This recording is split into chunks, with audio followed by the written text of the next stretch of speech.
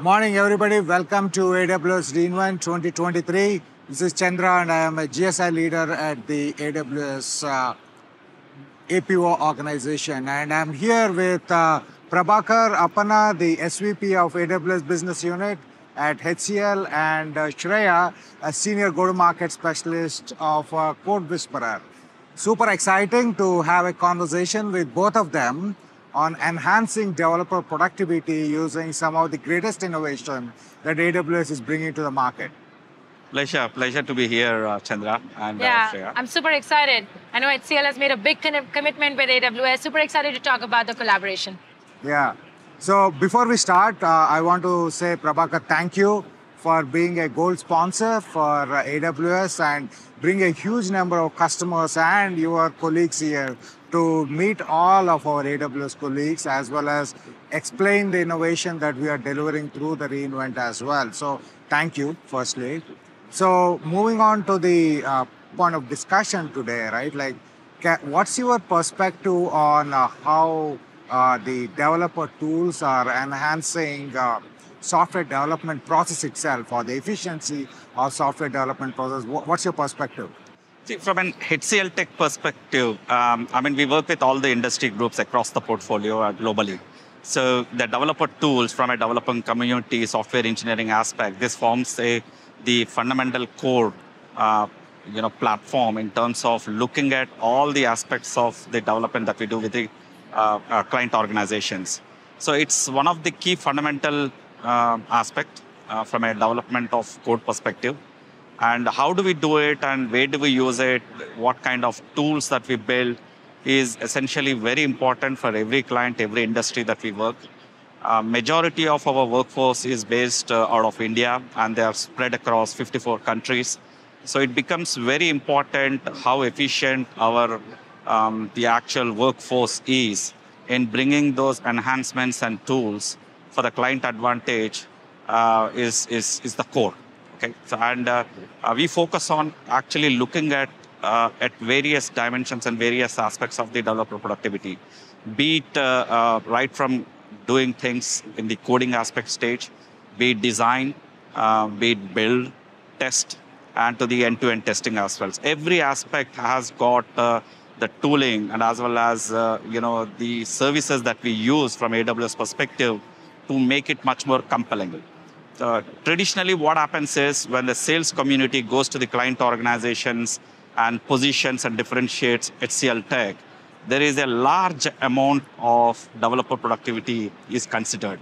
For example, when you're competing in a com- you know, competing situations, you need to understand what efficiency that you internally have so that you can make those commitments to the client.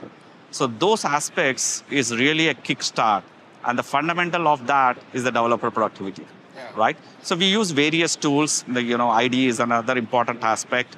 We have homegrown tools and we have tools that we have uh, you know um, you know enabled them using aws so from a cloud adoption perspective. And there are software engineering specific tools. We work with uh, you know engineering clients heavily and uh, there are tools which are respect to with, with respect to the financial services and the industry groups. So various dimensions we look at in terms of uh, what will work for the client and what doesn't and how that tool is going to actually enhance uh, you know our own productivity internally. So it's it's it's it's something which is fundamental to our the way we work uh, from an HCL tech perspective. So HCL had a long history of engineering, right? Like you are a one of the first companies that bought computers to India. So a long history of engineering excellence. Shiv Nadar, your founder, has been one of the forefathers of computer revolution, IT revolution in India. So, but as the um, software industry evolved, right? And do you see that there is an impact of how you deliver to the cloud world in terms of cloud native development compared to traditional on-prem development, application development?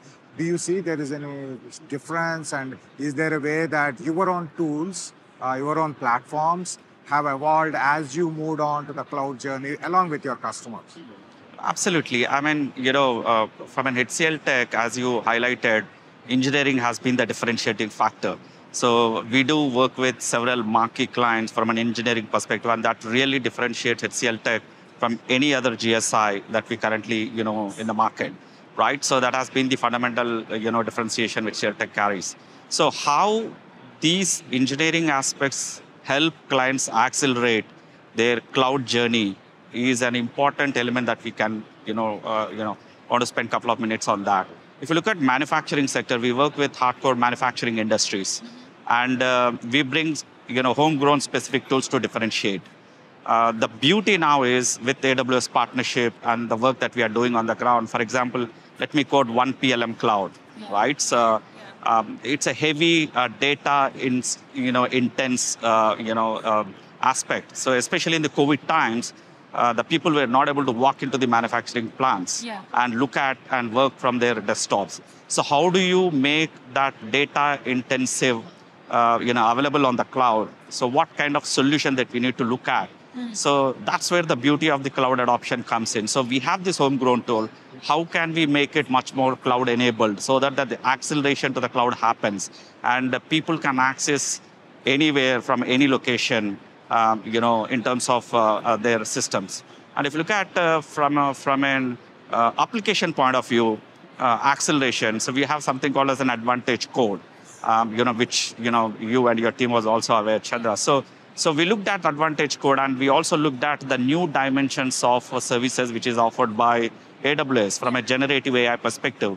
So we are enhancing all our tools. That's a beautiful tool which actually helps client accelerate their application journey much faster, uh, you, know, uh, you know, from a cloud adoption perspective. So how, how can I use some of the AWS services, for example, AWS Code Whisperer and AWS Bedrock and, and the underlying fabric of Anthropic, and uh, you know overlay on the advantage code so that for clients it becomes one single you know uh, you know platform or a tool which accelerates their you know journey. So we look at all those dimensions and build those horizontals you know and the vertical solutions which actually uh, is a great differentiating aspect. And uh, thanks to aws as well because they keep releasing those new services into the market and it helps gsi for us to look at explore and integrate that for a you know faster pace of By the way, we adoption have ton of new announcements today on generative AI. If you haven't seen Swami's keynote, you should definitely check it out. no, no, no. Right? absolutely absolutely Just want to touch upon the Advantage uh, Claude platform that you built, right? Like that is obviously an IDE that uses Amazon Bedrock with underlying cloud model to drive uh, faster code development.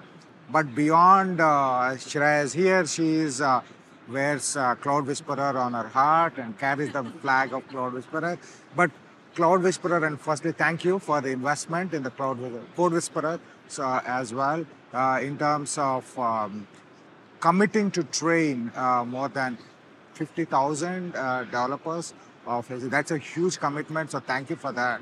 So how do you see like code whisperer actually helping beyond advantage cloud is that uh, how you have you started using it in your uh, client projects or are you using it to build your own developer capability what's your perspective maybe shreya you can share like what you are seeing in Yeah. the market as well Yeah, actually, first, yes, uh, reinforcing the thanks, uh, you know, for that massive commitment. Um, and you talked a lot about developer productivity and how basically developer productivity is at like the forefront of any uh, project commitment for you know for big GSIs um, uh, because I understand that you know the bet the better your developers are, more efficient your developers are, the better your time to market, and that helps with your compete situations. So we are seeing a trend of our partners, our big GSIs, picking up on. So there's this sense of internal use of the service for their developers, but also building applications for customers. Um, and I know HCL's advantage is like, you know, sort of like this unified experience. So, do you want to share how Code Whisperer would help you elevate sort of that experience with advantage? Absolutely. So uh, if you look at from to your point, uh, Chandra, I think it's a it's a great collaboration that we are able to do it because the reason why we also did it is to uh, multi-dimensionals. Yeah. Number one, uh, we looked at you know uh, what is available in the market, right?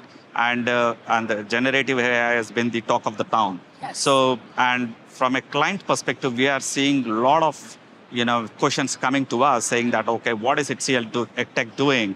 Because you are a long-term partner for us. So how are you innovating my own landscapes? So what are you doing in terms of upskilling your team? You know, what are you doing in terms of bringing uh, new, uh, you know, uh, cases of how generative AI can be adopted in my own industry? So all these aspects we looked at and we said, okay, we have to do something very different and unique here and we have a great partnership with AWS, and then that's why we said we will, you know, empower 50,000 of our resources, developers and engineers, yes. um, you know, to train and be enabled and ready, you know, with AWS Code Whisperer and the, you know, Bedrock technologies. And thanks to that, uh, to you, Chandra, and the team as well, right? So that's that's fundamentally very important. The reason why, how that gets help, you know, help in the in, in, the in the market and as well as within our HCL Tech is multidimensional. Number one, we are upskilling our people, okay? Yeah. And these are the people who work with various Fortune 500 clients. Yeah. So they bring the right context of generative AI to the client, Yes. right? Number two, we have to identify, we understand the client business. So we are better positioned to actually build use cases, okay? And uh, how fast can you build these use cases? Uh, coming back to your question, okay, time to market is very important. Yes. So how quickly? That's where the AWS Code Whisperer comes. Yeah. So Code Whisperer helps us actually, uh, you know, um, fast track things, helps in actually prompt engineering in terms of uh, the developer using it efficiently and building his own code snippets, Uh-huh. which could be an accelerated incubation for solutions and industries across the board. So these are fundamentally very, uh, very unique aspects, you know, which is which is uh, you know uh, from from an HCL Tech uh, perspective. And uh, a third different dimension is, is also on uh, go-to-market Yes. right? Today, the clients want those use cases and solutions where their business can differentiate, Correct. right? That's where, you know, it, it- something AWS Code Whisperer and with the combination of AWS Bedrock and Anthropic, Yeah. really a key weapon for us to actually build those use cases for that industry and take it to market. So in terms of adoption, we are adopting that across the portfolio. We have made a big commitment on the financial services in terms of using Code Whisperer in our existing account. Uh, some of the new deals that we signed with the clients, how can we actually accelerate those conversations and also help the client team train and enabled. So that's really working out. Okay. And we are looking at the manufacturing dimensions, insurance dimensions as well for the quicker adoption. So long way to go. And with the new services coming in, we need to understand also how this new services is going to enhance.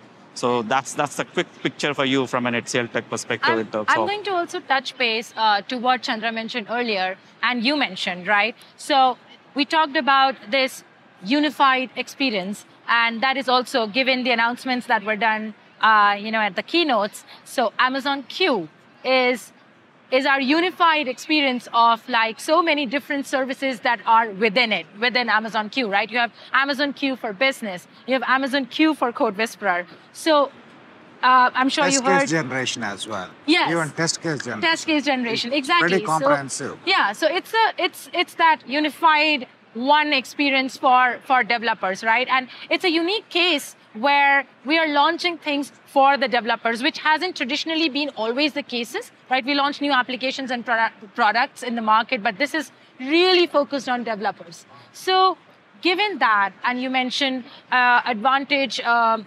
HCL's Advantage Cloud, right, using Bedrock and Code Whisperer. How do you feel? I know it's we just announced it, but how do you feel about the you know use of this portfolio? To how does HCL and uh, AWS benefit together in, in in collaborating on this portfolio? I'll give a cue. I, I think um, what is happening is there is a lot of generative AI kind of customers want to understand about it, but also you talked about it, right? What, how do you manifest all these generative capabilities to something that is tangible for me as a customer, to my line of business? What's the value that I'm going to generate? And I think that will only happen if your developers are happy, right? and they're able to think and they're able to move fast, uh, remove the undifferentiated heavy lifting or make it more customized for HCL way of developing. You have your own unique way of developing code and delivering value to the customer So I don't want to put words in your mouth, but I think like uh, this is how I think we will manifest uh, in partnership In with partnership, you. yes. I mean, see, one thing is really surprising for me, honestly, right? So when Adam made that announcement on Amazon Q, I was like, wow, right? Because, you know, look at the pace at which the innovation is driving. Yes. You know, you know, we've, we're talking about the adoption of uh, Code Whisperer and Bedrock, and coming something like groundbreaking differentiation with Amazon Yes. Q is really, really, you know, amazing, right? Yeah. It- especially, so I give full credit to AWS and your wider team on coming up with something like that. Thank you. I mean, whatever I've seen, you know, on the, in the presentation, in the keynotes, it's just amazing. It's the very dimensions at which Yes. it can actually explore from a business, from an enterprise, Yeah. uh, from a developer productivity perspective is is just unimaginable. Yes. We still need to get into the details of what it is and how can it help. But uh, whatever we have seen is uh, that's really going to differentiate with the other hyperscalers as well, Yeah. right? So you know every hyperscaler has got their differentiation. I think uh, Amazon Q is going to be the mojo of AWS in terms of that clear differentiation. That's that's something which I see. Uh, In terms of your question to um, how does that help internally Yeah. for us and for our clients? uh, Um, so there are, so we are a services company. We are into servicing to the clients. Yeah. We also need to look at uh, uh, from from from that dimension in terms of how the market towards the services segment for the client is going to work uh, with the newer enhancements and the new cases is very important. And, the underlying conversation for all these things is the data Yes. right? So you need to have the right data, you you know, lake data engineering uh, elements to make sure something like an, you know, Amazon Q works and delivers better results. Right. So how enterprises adopt this and how they define the data fabric to actually feed into this is very, very important Yeah. right? Um, and uh, so there are, uh, I mean, we can get into the various longer conversations in terms of there are regulations with respect to North America and Europe and Yeah. Asia Pacific regions. Yeah. The banking works in a different way.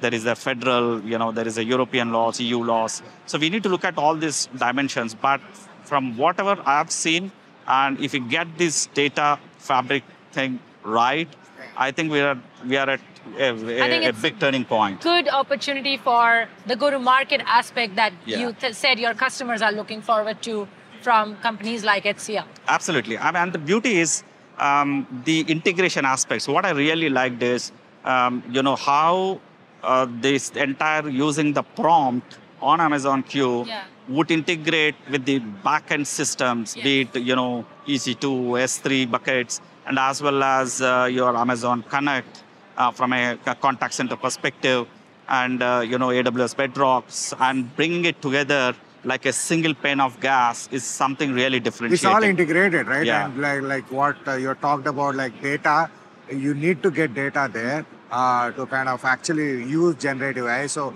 zero ETL uh, announcement that Swami made, like makes the data to be moving very very fast into the places where you want to run the models. But we, we covered a lot. So on behalf of both uh, Shreya and I, uh, thank you once again for the partnership. Um, we were super excited to announce a lot of innovation today.